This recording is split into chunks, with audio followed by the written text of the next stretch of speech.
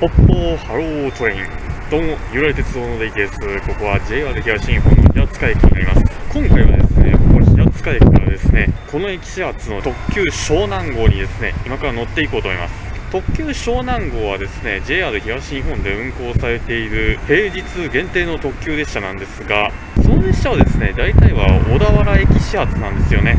でも今回のその湘南2号はですねなぜかこの平塚駅始発なんですよね。まあ、なんでかは謎です。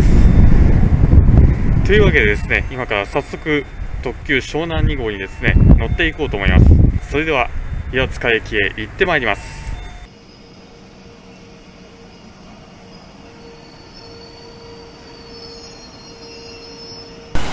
えー、今ですね特急湘南2号を待っているところなんですがここで不意打ちのサンライズ登場です。この列車は東京へ向かう列車ですね。いやこの14両編成の寝台特急電車。いやなかなか圧巻です。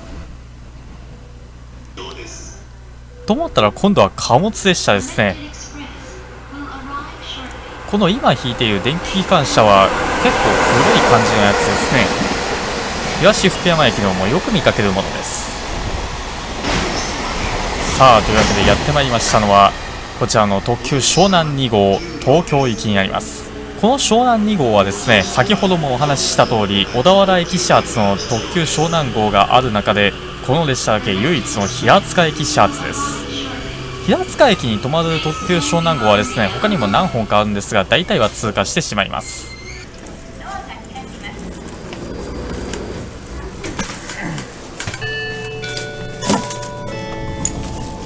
JR 東日本ではおなじみのチャイムが流れてまいりました。この列車急湘南2号東京行きこの男性のアナウンスはですね新幹線以外でも特急列車で用いられてるみたいなんですよね。いやこれには驚きです。座席はこんな感じです。いやなかなか座り心地が良さそうです。特急湘南2号東京行き平塚駅を6時25分帝国通りに出発です。この先止まる駅は茅ヶ崎辻堂藤沢大船品川終点東京です。途中川崎駅や寝台特急サンライズ瀬戸出雲号も停車する横浜には一切止まらないのが特徴です。この特徴は特急湘南2号に限らず全ての特急湘南号に当てはまります。なお2023年3月13日現在今この動画を撮っている日なんですが東京から平塚までの間のみを走行する特急湘南号というのはですねこの今乗っております特急湘南2号しか当てはまりません。列車は相模川の上を通過。朝日がとても綺麗です。この風景を写真に写してインスタグラムにアップしたらどれぐらいのいいねがつくか気になるところですが今撮影中なのでそんなことはできません。列車は1つ目の停車駅茅ヶ崎駅に到着です。この駅からはですね相模線が乗り入れておりまして相模線の列車に乗り換えれば厚木駅や海老名駅橋本駅まで行くことができます。厚木駅や海老名駅からは小田急小田原線や橋本駅からは京王電鉄の相模原線が乗り入れておりましてそれぞれの路線を利用すればいろんなところへ行くことができます。ちなみになんですが相模線には香川駅という駅があるみたいですね。神奈川県にあるのに香川駅とはこれまた面白い要素ですね。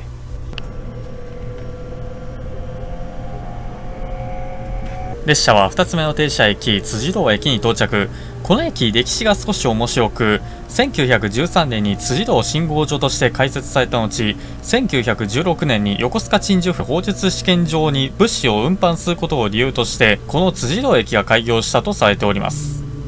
ちなみになんですが、その開設記念碑がですね、辻堂駅南口にある辻堂駅前交番の右横にですね、設置されております。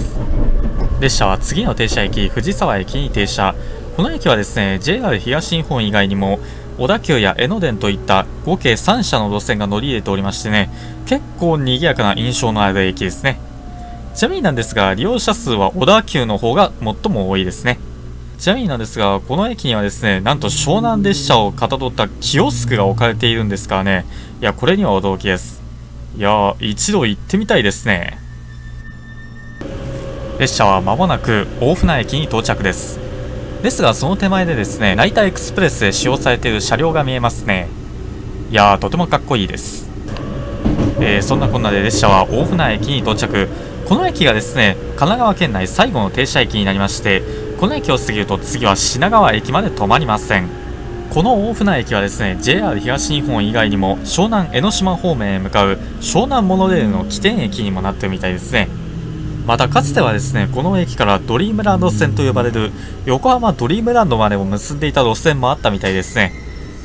まあちなみになんですがこの路線がですねなかなかくせ者でしてまあ、この路線を解説するとなると動画1本になりそうなんで、まあ、この路線はですねまた機会があったら説明したいと思います。列車は大船駅を出発。この駅を出発すると次は横浜川崎は通過してしまい東京都内の駅品川駅に停まります。ではここで座席の紹介に移りましょう。座席はこんな感じになっておりまして爽やかな色でとても座り心地が良さそうです。また肘掛けにはですねボタンが2つありましてこのボタンを押すと座席が前面へ動く仕組みになっております。でこちらの黒い丸ボタンを押しますとリクライニングシートが動きまして好きな体勢に調節することが可能です。また座席にはですね窓側だけにですがこのようにモバイル用のコンセントがありましてでこちらの方にはカップホルダーが付いております。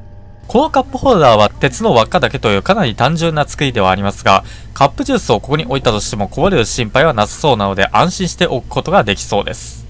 また座席の上にはですね、ご覧の通りランプがついているのがお分かりいただけますが、これはですね、座席の空席状況を前もって知らせるためのランプですね。こちらは折りたたみテーブルの裏の方に書かれてある説明文ですね。このランプがですね、赤に点灯している場合は現在は空席であるということ。で、黄色になっているときは、その先の停車駅から予約されている場合、で、緑の場合は、すでにその席が予約されているということを示すので、もしこの緑色が点灯した場合、その座席にはですね、えー、その指定権を持っている人しか座ることができず、座席未指定権と呼ばれる、えー、座席が指定されていない特急券を持っている場合は、この緑色に点灯している座席に座ることができず、で、もし座っている途中に緑色に点灯した場合は、その席をですね、譲らなければいけません。えー、そんなこんなで列車は途中の横浜駅を通過。本来であればサンライズ瀬戸出雲港も停車するこの駅なんですがいやこの横浜駅を通過するというのはねなかなか見られない光景ですね。いや横浜駅を通過している時の爽快感と驚きそして優越感は計り知れません。いやこれにはさすがの私もこういう風な顔にならざるを得ませんね。横浜駅を抜けてからしばらくするとご覧の通り京急線が見えてまいりました。しばらくの間はこの京急線と並走することになります。この今走ってる列車はですね京急の線型と呼ばれる列車ですね。いや結構かっこいいですねこの列車。今通過しているのは JR 東日本の東神奈川駅京浜東北線のみが止まる駅ですね。向こうからやってきたのはこの水色の列車京浜東北線の列車です。京急線型はこの建物にちょっとの間は隠れて見えなくなりました。そして列車は京急線の駅を通過いたしましてまた赤色と白色の列車と合流しましたね。この列車はさっき走ってたものとはなんか前面が若干違うっぽいですね。でもすぐに追い抜きました。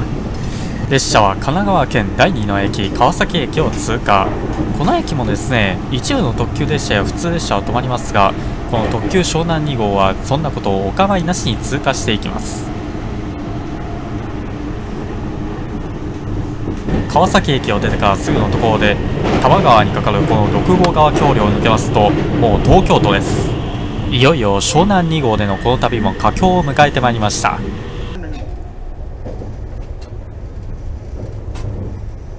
列車は東京に突入してから最初の停車駅かつこの特急湘南2号最後の停車駅品川駅に停車。今さっき見えたのはですね横須賀線の列車とこちらに止まっておりますのは特急時は51号高萩行きになります。この特急湘南2号とあちらの特急時は号との乗り換え時間はわずか3分ですがその3分の間に乗り換えることができれば最大で高萩まで行くことができます。ご覧の通り品川駅でですね大体の人が降りていきました。列車は品川駅を出発してからしばらくしますとこのように無数のクレーンが立っている地帯が見えます。何か建設しているのでしょうかね。今通過しているこの駅はですね高輪ゲートウェイ駅。2020年に開業した比較的新しい駅ですね。現在は山手線のほか京浜東北線の列車も停車します。おちょうど京浜東北線の通勤列車がやってまいりましたね。列車は鉄道発祥の地の駅新橋駅を通過。ただしこの駅自体は1909年に開業したもので1872年に開業したオリジナルの新橋駅は後の汐留駅現在の旧新橋停車場鉄道歴史展示室になっております。ちなみに新橋駅には横浜駅や川崎駅とは違い特急湘南8号と特急湘南10号つまり上りの湘南号が停車しますね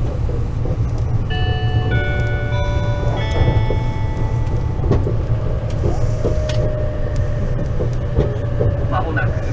終点東京に到着いたします本日も JR 東日本をご利用くださいましてありがとうございました列車はもう間もなく終点の東京駅に到着ですがおっとここで止まってしまいましたね。一体何があったんでしょうか？緊急停車して申し訳ございません。現在東京駅にて、えー異常を知らせる、えーホーム上の異常を知らせる信号が発行されております。そのため緊急停車いたしました。栄養少佐通です。しばらくお待ちください。どうやらこの先でですね異常を知らせる信号機が点灯しているみたいでその関係でこの列車が急停車したみたいですね。というわけでしばらく待ってみましょう。それから少しいたしまして列車はゆっくりと東京駅の方面に向けて出発。左側には東京駅のシンボル的存在であるレンガ造りの赤い駅舎がよく見えます。その手前には中央線の高架ホームが見えますね。列車は帝国より4分ほど遅れまして7時24分終点の東京駅に到着です。平塚駅を6時25分に出発してからこの間約1時間。いや4分遅れたとしても早いですね。左側には平塚駅で6時20分頃に見送りました。特急サンライズ瀬戸出雲号285系電車が止まっておりますね。この列車は7時8分頃に到着しておりますのでこの列車が到着するよりも帝国であればおよそ12分ぐらい早く到着していることになります。はいというわけでですね終点の東京駅に到着いたしました。いやこの列車奇想天外なことばかりやってくれましたね。小田原始発なのが平塚始発だったり湘南新宿ラインが本来なら停車する戸塚や横浜川崎を通過したりなどいやーもう驚くことばかりでしたねこの列車は。皆さんもですねぜひ特急湘南号の中でも特に変わり種のこの特急列車湘南2号にですねぜひ乗ってみてはいかがでしょうか。ただこの列車注意したいのがですね平日限定なんですよね。つまり同休日は運転してないんですよ。なのでまあそこら辺はご注意いただければと思います。はいというわけでですねこの動画がもしよろしければグッドボタンをぜひ押してください。従来鉄道のチャンネル登録と私レイキの Twitter、Instagram のフォローもぜひお願いいたします。それではまた次回の動画でお会いいたしましょう。さようならトレイ。ンいつかここか